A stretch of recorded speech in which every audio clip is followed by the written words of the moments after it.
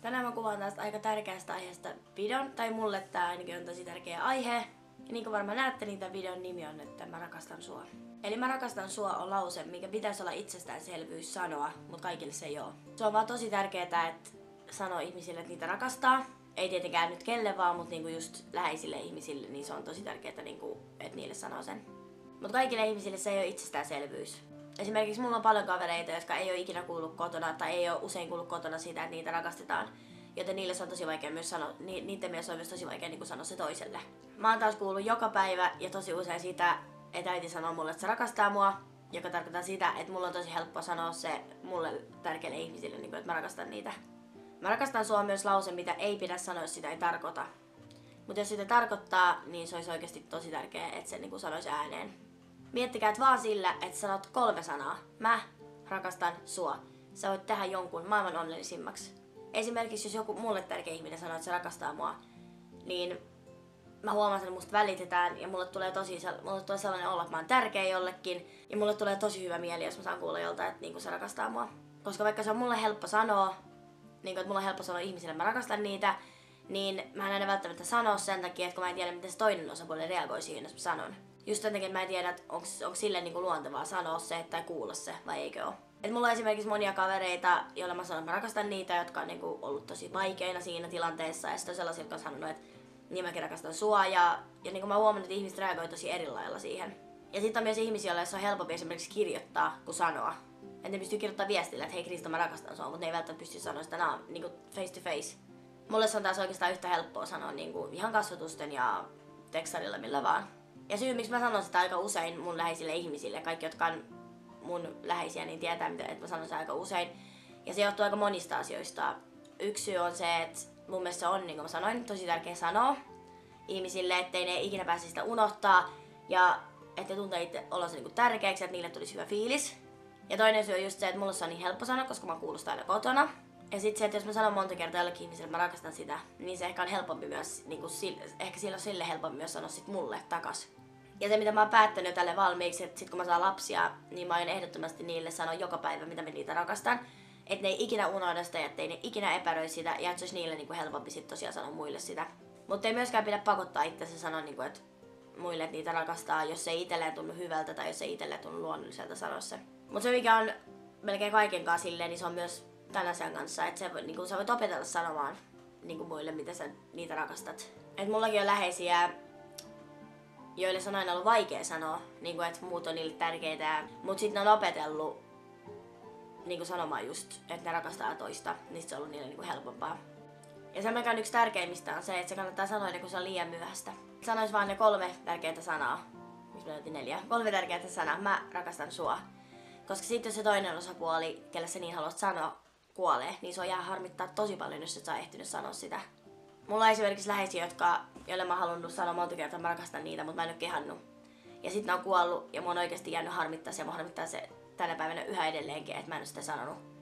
Vaikka ne kuinka tietäis, että mä niitä rakastan, että niinku sille väli tietäis ne vai ei, niin se mun mielestä on silti niinku niin älyttömän tärkeää, koska sit niinku ennen kuin se ihminen kuolee, jos se vaikka tosi sairaasti tietää itse se kuolee ja saa kuulla, että se rakastetaan, niin se pystyy tavallaan kuolla rauhassa. Tai mä ainakin ajattelen niin. Mä voin esimerkiksi sanoa, että mulla on läheisiä, jotka ei oikeastaan sano, tai niinku tärkeitä ihmisiä mulle, jotka ei sano mulle usein sitä, että niinku ne rakastaa mua, tai jotka ei sano sitä koskaan. Ja mä voin sanoa, että vaikka mä tietäisin, että ne rakastaa mua, niin mulle, tulee itse ainakin sellainen epävarma ja sellainen niinku, fiilis siitä, että okei, että, että toi ihminen ei välttämättä välitä musta, jos se osaa sitä sanoa. Ja ennen mulle tuli se vielä enemmän se fiilis, mutta nyt mä oon tavallaan niin kuin tajunnut sen, että me kaikki ollaan erilaisia. Joillekin se vaan ei ole luonnollista sanoa, niin jotkut ei vaan halua sanoa, jotkut ei ehkä osaa edes sanoa. Mun mielestä taas on tosi harmi, jos ihminen ei osaa edes sanoa, että niin kuin se rakastaa muita, koska mun mielestä niin kuin yksi tärkeimmistä sanoista koko maailmassa on se, että mä rakastan sua. Ja mun mielestä yksi ihanimmista sanoista, mitä sä voit kuulla, on just niin kuin, että sua rakastetaan. Koska ei sun voi tulla silloin sellainen fiilis, että sä et olisi tärkeä jollekin, jos sä kuulet, niin kuin, että sua rakastetaan. Mutta mä voin sanoa, että mä en myöskään ikinä sanoisi ihmisille, että mä rakastan niitä, jos mä en tarkoittaisi sitä. Mä en ikinä sano asioita, mitä mä en tarkoita. Joka tarkoittaa sitä, että jos, jos joku mun läheinen nyt katsoo tätä videoa ja on kuullut ja saat kuulla, että mä sanon, että mä rakastan sua, niin mä myöskin tarkoitan sitä. Mutta sekin on totta, että, että yleensä ihmiset sanoo ja tekee asioita, miten haluat niille sanotaan tai tehdään. Esimerkiksi just se, että mä sanon ihmisille, mä rakastan niitä, mä kirjoitan ihmisille uh, hienoja kirjeitä, niin kuin, just mitä ne mulle merkitsee, niin se tarkoittaa sitä, että mä itse haluan kuulla sen, että mua rakastetaan ja mä itse haluaisin saada jotain kirjeitä tai jotain niin kuin, niin kuin, ihmiseltä. Että ei mitään niin lahjoja tosta mulle nyt niin kuin paljon karkkia, vaan niin oikeasti jotain, mikä tulee sydämestä, jotain biisejä tai kirjeitä tai jotain. Ja mulla on itse asiassa yksi ihminen, joka katsoo videoita, joka kirjoittaa mulle aika usein kirjeitä, ja mulle tulee tosi tosi hyvä fiilis niistä aina. Se kirjoittaa tosi hienosti ja se kirjoittaa niin sydämestä, niin, niin kuin puhtaasti, puhtaasti sydämestä ja mulle tulee niin hyvä fiilis ja mäkin oon kirjoittanut sille ihmiselle kirjeitä ja muutenkin tosi paljon mä oon kirjoittanut mun niin kuin, läheisille kirjeitä. Ja se, että sä rakastat toista ihmistä, sen sä voit kertoa tosi monin eri tavoin. Se ei aina tarvi, sanoa, se ei aina tarvi olla sitä, että sä sanot just, että sä rakastat sitä.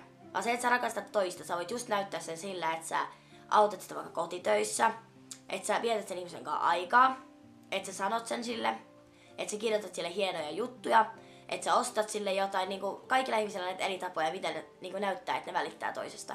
Mä teen vähän kaikkea näistä. Mä, niin kuin, mä niin kuin sanon, mä kirjoitan hienoja juttuja, mä, yritän, niin kuin mä vietän aikaa ihmisten kanssa. Mulla on tosi eh, monta eri tapaa, miten mä sen niin kuin näytän, mä välitän ihmisestä. Mutta joillekin se voi olla just vaan se, että se niin kuin esimerkiksi antaa kerran kuukaudessa sulle aikaa, et ei mitenkään muuten sitä niin kuin näytä.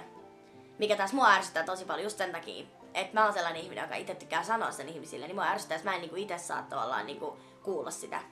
Ja se, mikä mä oon myös huomannut ainakin mun omalla kohdalla on se, että jos äiti sanoo mulle, että mä rakastan sua, totta kai se on ihana kuulla, se on mun äiti, mutta se on niinku, se ei tunnu sillä wow-elämykseltä, koska äiti sanoo sitä niin usein mulle. Mutta sitten kun joku ihminen, ketä mä näen joka päivä, tai joka ei sano mulle sitä joka päivä, niin jotenkin tulee heti sellainen fiilis, että, kuin, että mun sydän vaan sulaa, tai mun sydän niin kuin, mun tulee niin lämmin fiilis siitä, mun tulee niin kuin just sellainen fiilis, että niin että mä muistan sen taas, että mulla on ihmiset, jotka musta välittää. Ja kun mä sanon teille, että mä rakastan teitä, niin te voitte ajatella että no et sä voi mua rakastaa, että et sä mua tunne. Mutta mä tarkoitan silleen, että mä rakastan teitä silleen, koska te olette, se miten paljon te annatte mulle, niin kuin inspistä kuota videot, miten paljon ihania kommentteja te annatte mulle, niin kuin silleen mä teitä rakastan niin paljon, koska te olette aivan ihania ihmisiä, koska kaikissa ihmisissä on jotain hyvää. Ja kaikkia ihmisiä pitäisi rakastaa. Kaikki ihmiset ansaitsevat tulla rakastetuksi. Ja kaikki ihmiset ansaitsee myös kuulla sen, että niitä rakastetaan. Mutta valitettavasti tässä maailmassa on paljon ihmisiä, jotka ei ikinä sano lapsilleen tai muille läheisille, että niitä rakastetaan. Ja on oikeasti lapsia ja aikuisia, vanhuksia, mitä vaan, jotka ei kuule sitä, että niitä rakastetaan. Ja ne ei välttämättä itse edes taju sitä, miten pahalta se tuntuu. Mutta jos mä just mietin sitä, niin että, että mä oon silleen onnekas, että mä oikeasti kuulen, että mä rakastetaan. Mä kuulen sitä tosi usein ja mä oon, mä, mä oon tosi kiitollinen siitä. Koska ei ole mitään kauheampaa kuin se, että, että ihmiset ei sano, että, että ne välittää susta, tai, tai vielä pahemmin se, että, sul, että on ihmisiä, jotka oikeasti on niin kuin ihmisiä, joilla ei ole ketään, joka niistä välittää. Ja se on, vaan ihan, se on niin sydäntä särkevää. Joten jos sä edes joskus kuulet jolta, että että sä rakastaa sua, niin älä missään, niin kuin, ota, älä missään nimessä ota sitä pahalla, ota se hyvällä. Koska ihminen yleensä ei sano turhaa toiselle, että se rakastaa sitä, jos se ei tarkoita. Ja jos sä et sano ikinä ihmiselle, että sä rakastat sitä tai sulla on vaikea, niin opettele sanoa, koska mä voin sanoa, että se oikeasti se palkitsee sut vielä myöhemmin, että sä oot sanonut jollekin, että sitä rakastat. Sä voi jopa pelastaa jonkun elämän, jos sä sanot kolme sanaa. Mä rakastan sua. Se voi pelastaa jonkun elämän, jos se on tosi epätoivoisessa tilassa ja sä sanot sille, että hei, mä rakastan sua, mä välitän susta. Monet ihmiset on pelastanut mun elämän vaan sille, että ne on sanonut, että ne rakastaa mua. Koska se on niin tärkeää kuulla. Ja se on kaik- kaikille ihmisille se on tärkeää kuulla, vaikkei kaikki ehkä sitä tajuakaan. Mä että mä oon tosi ylpeä teistä, jos te olette ihmisiä, jotka osaatte sanoa, osaatte ja sanotte niin kuin ihmisille, että rakastatte niitä. Ei sitä tarvi sanoa joka päivä, eikä sitä tarvi sanoa joka sekunti, eikä kaikille, vaan sille, jolle haluaa sanoa. Silloin, ja silloin, kun se tuntuu oikealta sanoa se. Ei missään nimessä pidä sanoa, se tuntuu väärältä tai vastenmieliseltä. Ja mun on pakko sanoa, että olkaa oikeasti niin kiitollisia, jos teillä on ihmisiä, jotka teistä välittää. Mäkin olen niin kiitollinen, että mulla on ihmisiä, jotka välittää koska niin kuin mä sanoin aikaisemmin, on oikeasti ihmisiä, joilla ei ole yhtäkään ihmistä, joka välittää. Se on, se on vaan ihan kauheeta. Ja mä voisin heittää teille nyt tällaisen haasteen ihan iteltäni, mikä mä just äsken keksin, joka tuli suoraan mun sydämestä. Sano sun tärkeälle ihmiselle niin, ma- niin nopeasti kuin mahdollista, mielellään jo tänään. Sano sille, mitä paljon sitä rakastat ja katso, miten se reagoi. Mä voin sanoa, että harvat ihmiset oikeasti reagoi siihen huonosti, vaan yleensä ihmiset ottaa sen niin hyvällä. Varsinkin, jos ne ei kuule sitä usein sulta, että sä rakastat niitä ja sitten saa kuulla sen. Joten mä haastan teidät sanomaan yhdelle tärkeälle ihmiselle edes, että rakastat niitä. Mä aion tehdä sen saman, mä voin tehdä sen vaikka tänään. Ja mä voin melkein luvata, että tuutte jossain vaiheessa vielä tajuamaan sen, miten tärkeää se on kuulla se ja miten tärkeää se on sanoa se. Kiitos tosi paljon, kun te katsoitte tämän videon. Tämä oli tosi koskettava ihan mulle. Tämä oli tosi koskettava puhua tästä. Mä en tiedä, mitä toi sanotaan oikein. Muistakaa laittaa peukut, jos tykkäsit tästä videosta. Muistakaa tilaa mun kanavaa. Ja mikä tärkein, muista, siinä joka katsoo tätä videoa, mä rakastan sua. We